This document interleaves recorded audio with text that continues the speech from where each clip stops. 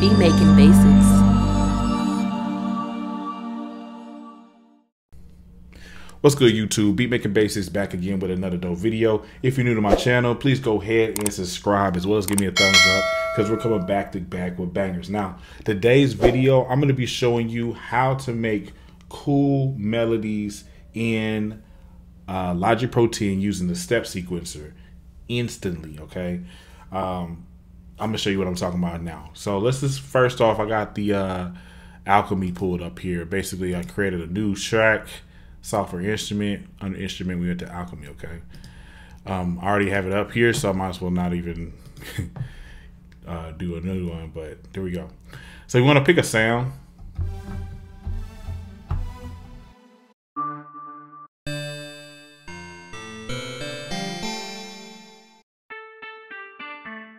All right, so that might be a good one to go with. Let's let's go with this sound. So that's the first thing.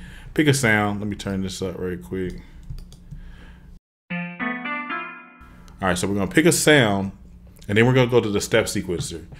So click the scissors, and then you got step sequencer here.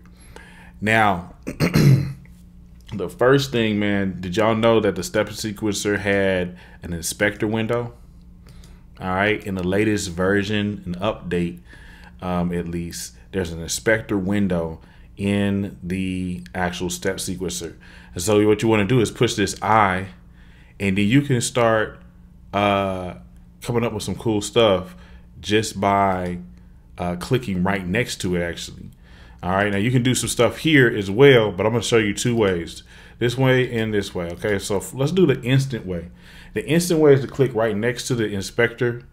So right next to this I and just go to patterns and you can go to melodic and come in here and just put, choose any of these. So let's just go with maybe like this eternal uh, or Elizabethan dreams. I think that's what you, how you say that. And now I got an instant pattern right here I can use. Now check this out.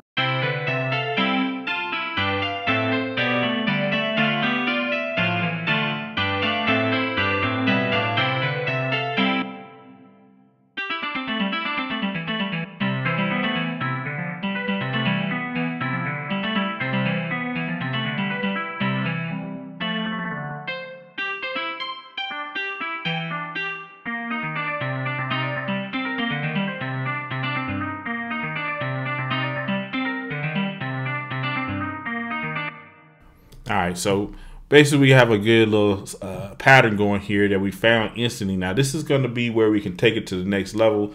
What I would recommend you doing is just go ahead and grabbing this and just go right over here to this gray area where it says drag regions here to create instrument tracks. So we're going to just uh, grab this region and drag uh, region and drag it over here to this gray area and put it into the quick sampler under original. Boom. Now there's a lot of things that we can do with this uh, pattern, right? So obviously we could change the notes in here if we ever wanted to, you know what I'm saying?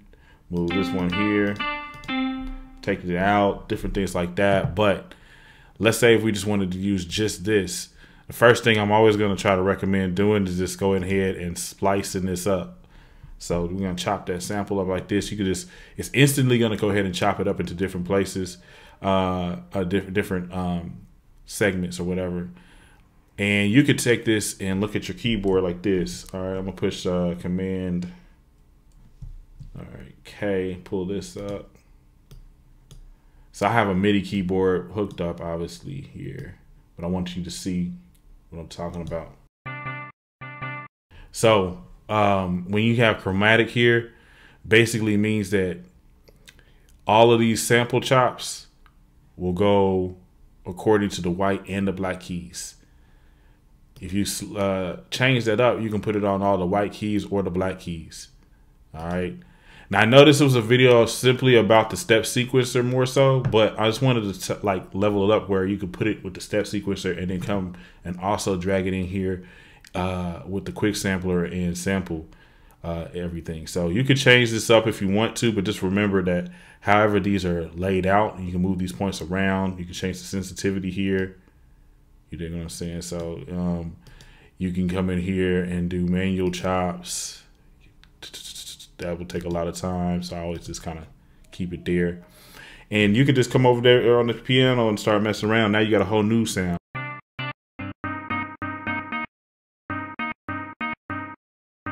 And you can take these out, right clicking on them, delete slice marker.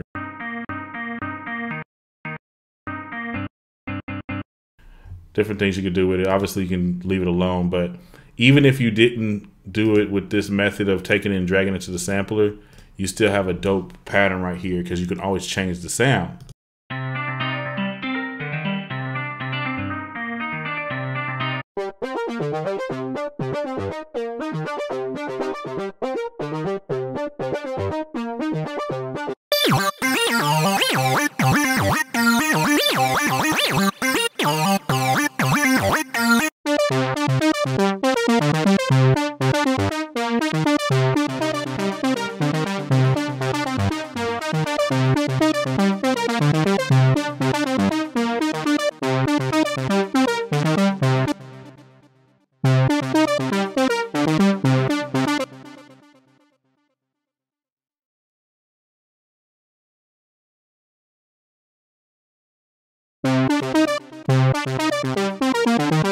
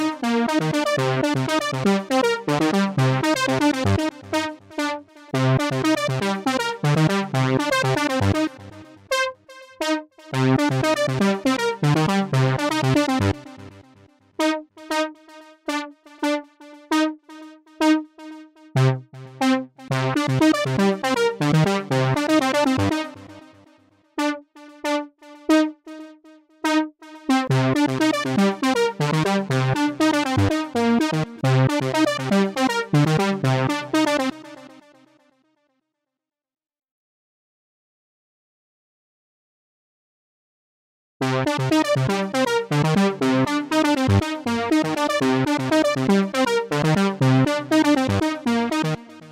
anyway, y'all get the point. You can pretty much come up with some dope melodies. You can move things around. You can resample this. You can do anything you pretty much want, and it's a quick, instant way to get some different uh, patterns going. I can even switch this up.